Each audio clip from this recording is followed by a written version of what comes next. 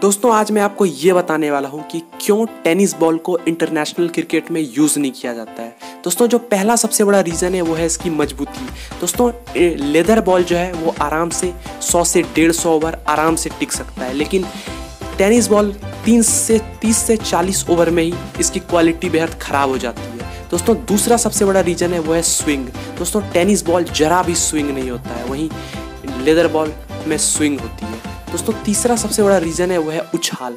दोस्तों tennis ball जो है, उसकी उछाल जो है, वो कांस्टेंट नहीं होती है। कभी कभी पटकाने के बाद ये ज़्यादा ही उछल जाता है तो कभी कभी बेहद कम उछल जाता है। इस कारण से इसका इंटरनेशनल क्रिकेट में यूज़ नहीं किया जाता है।